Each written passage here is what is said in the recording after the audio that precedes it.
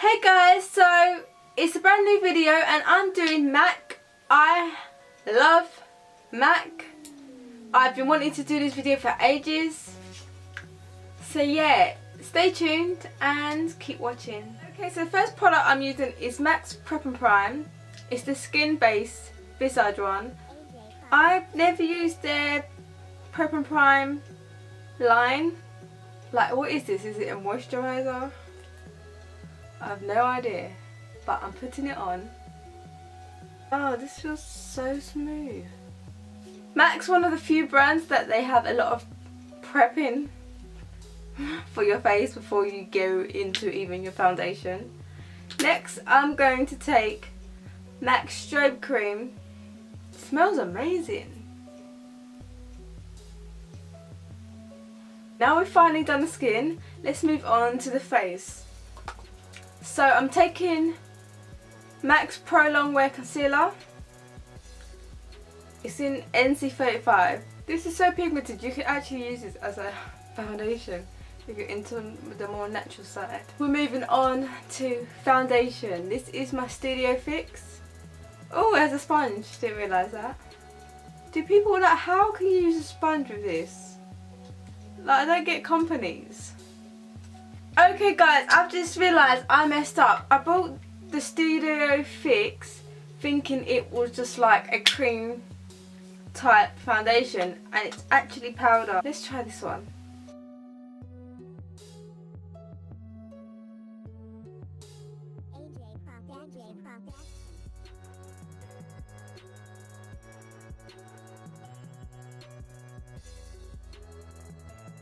This foundation gives you dewy look but I am matting it down. What I'm going to do, because now apparently I have two powders, bit annoying.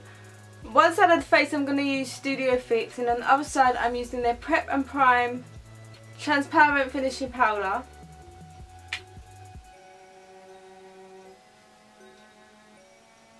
That is just some white ghostly powder. I feel like I'm definitely looking a bit light on this side.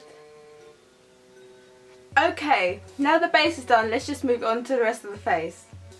I have a story for you. I bought a bronzer to do this video. Literally haven't left the house. It came to my house, I opened the package, I've lost it. I've checked upstairs in my room, I've checked downstairs where I opened it, it's literally just, it's vanished. It's gone. So I had to buy another one, so this is becoming very expensive. But the new one that I bought is limited edition. The ones that I have is from the Brooke candy range and it's just in the colour golden. I love me some Brooke Candy. I think she's a great underrated artist. It's more on the glittery side so you definitely can't contour with it. Oh I wish I had my original one that I bought. It was the light, not, not light escapade, what's that, what's it called? Shadester, yeah. It was that duo, Shadester and light escapade I think it was. It was like a a matte highlight and contour in one, the little compact. Oh, that's disappointing, especially as I like Brooke Candy. And the products are not even like, that's barely showing up. I shouldn't have to do this that many times. Look at look at Technique's video. One swipe and it was on. It's at 25 minutes and I still haven't even got onto the eyes. Let's just move on to my favourite of all time highlighters. And you can tell because I've hit pan on it. It is in the shade Soft and Gentle. I want to get another one but it just breaks my heart to spend £26 in a highlighter. I like it because even though it looks rose gold, it goes quite whitey for me. If whitey is a word. That is just so nice. It's quite on the natural side.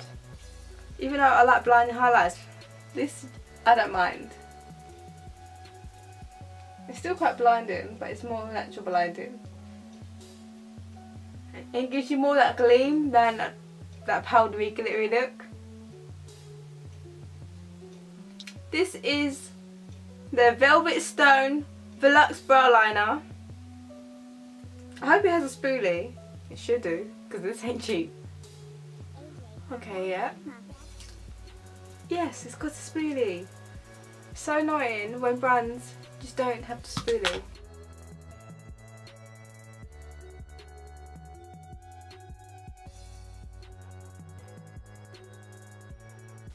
That colour match is so perfect. Oh my god. The only thing is, the only con is this brush is a bit hard. The bristles are really hard when you're brushing your hair out. That is so nice. That's definitely it's giving more of her hair-like strokes, whereas a lot of other brow products they give you that waxy, slick down look. Oh god. I'm gonna use this in my everyday life, but I hope I don't love it because it's a lot of money.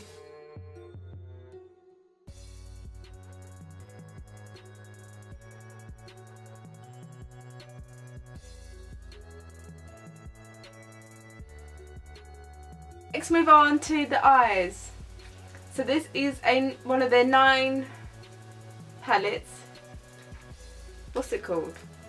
Yeah, times nine. Basically, I'm using that palette because I've never tried it before because I actually own a pro palette that I spent my own money making. I have 15 shades. I know them off by heart. The amount of research I did when I bought these was amazing. Let's take the first one. It is a baby pink. I'll take it as a base.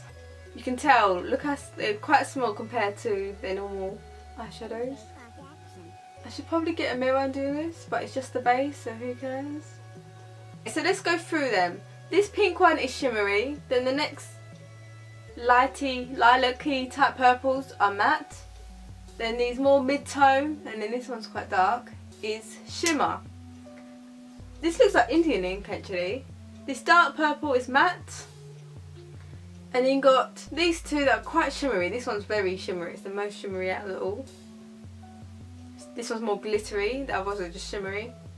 These two and then this one here is matte. I love how I put a shimmery colour as my base.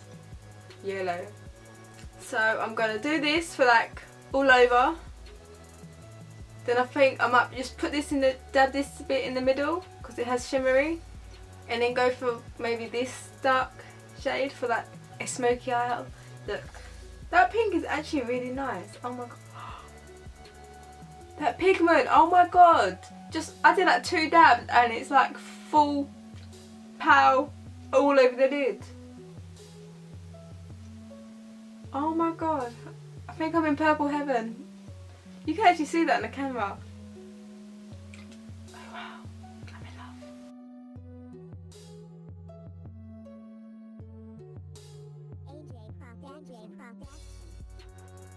Oh my god guys, the purple is on and I'm love. I can't believe it took me so long to use this palette.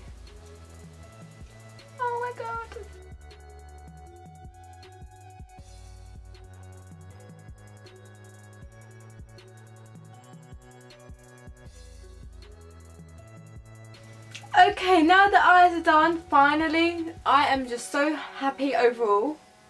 When it comes to purples, I think that's one of MAC's strongest colours because the pigment, the blendability is amazing compared to some of the other colours. So now let's move on to the eyeliner. It is Retro Black in their famous Fluid Line pen. Oh wow, that's like the um, Kat Von D. It's very long and pointy.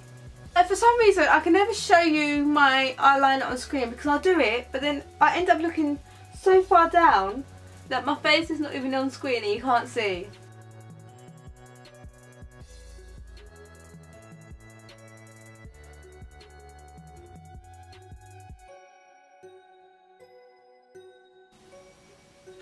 Now that's a sharp eyeliner point.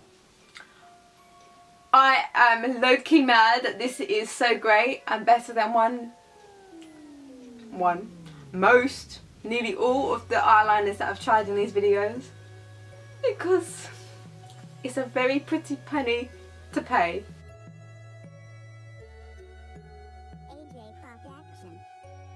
I just put the eyeliner on and I am so so impressed. I didn't have any problems, it didn't go really fat it was so easy to control. Pigmented, it's black. You ain't got um, gaps. It's not patchy in the wing. You can't see your skin like near the waterline, it's covered. I'm overall impressed. I can see why Fluid Line is very hyped up. I think their Fluid Line gel is more popular than the pen. But yeah, overall I am impressed. So let's move on to mascara. I've got the False Lashes Extreme Black Mascara. Mm. Mm -hmm.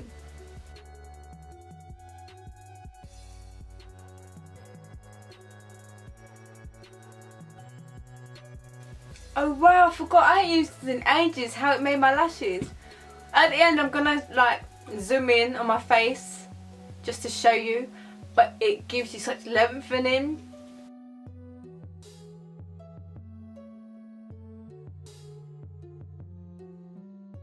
Don't do this in normal one brand videos, but I'm gonna hide my eyelashes for one reason.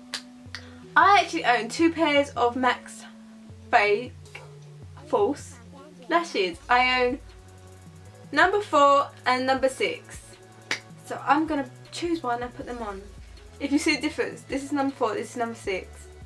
I definitely prefer number six. Oh my god, it's not going where I want it to go. They're just so natural looking. Oh my god, I actually haven't worn lashes for months and weeks. And I'm liking it. Okay, I'm just going to put the other side on now. Okay, so now the other eyelash is on. Just look how natural looks.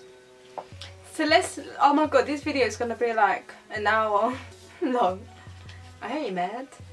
Last but not least is lips. I'm going to use the Retro Matte Liquid Lip. This was one of the, how convenient. This was actually one of my first ever liquid lip lipsticks to use. And it's also one of the most expensive. This is in the shade Reconnection. It's one of my favourites, it's one of my first ones. I own in total four shades. The other ones is Dance With Me, Feel So Grand and High Drama. Like it's got that flame type applicator. It's not flat and long like Maybelline's. So let's apply this. I'm looking very glamorous today. Oh yeah, and I forgot. This smells so vanilla-y. I love MAC's scents. Oh my god, that is the end of this video.